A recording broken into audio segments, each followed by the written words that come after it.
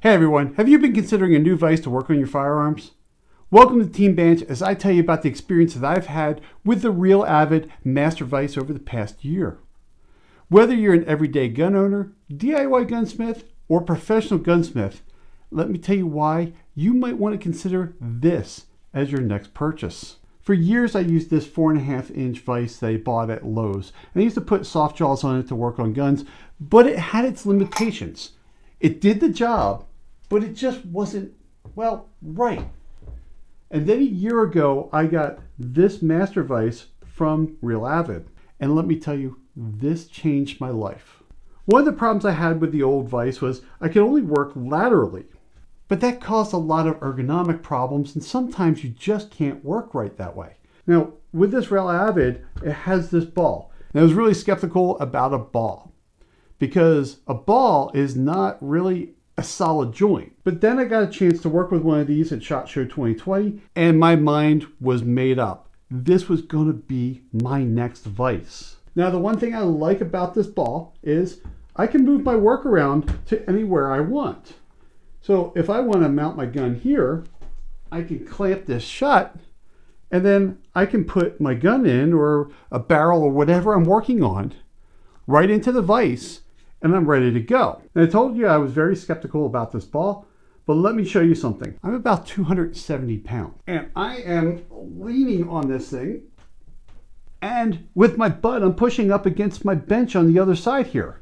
So I'm getting a lot of leverage in there that I'm actually moving this bench. So as you can see, this thing really does a great job. Now, you have this torque pin. And what's great about this torque pin is you can put this in here and it locks this so that way you're not just relying on that ball. If you're just doing you know, something straight up or straight down, you can lock it in and really do some extra torque, like barreling a rifle. Now if I pull this out and put it onto the other side, I can mount this horizontally. Whether you're doing vertical or horizontal, you can use this torque pin to really lock this in place. And if you can see on the overhead here, that's where it's gonna go. So it's on every 90 degrees. I can lock this thing into place.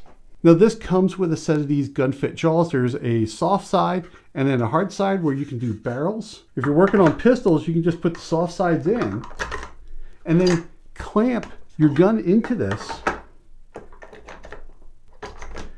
and have it in any direction that you want it. Now, a few months ago, I really wanted to see what this thing could do. And I actually locked in a barrel of this thing and then put a cheater bar on it. Now that does void the warranty, but I needed to know what this thing could do. I put that cheater bar on and really torqued this thing way beyond it should have. And this thing did not break. What I do have right now is there's a catch. So I bent that screw rod a little bit. Whereas there it's loose and there it's tight. Loose, tight. And you get the idea. But that's the worst thing that happened. The other thing I like about this thing is if you're mounting a scope, you have a rifle here, getting this set perfectly level can be a little tough. So let's just say this rifle's in here, it's off just a little bit left or right. You have right here, you can see that. I can move this back and forth just a little bit to make sure that everything is level. With as great as this product is, there is a weakness. You have this shaft coming straight up and then this head mounts onto it. Works really great, except for there's a, just a little bit of a wobble in it. I'm gonna show you right here. You can see that right there. It's just off by a little bit.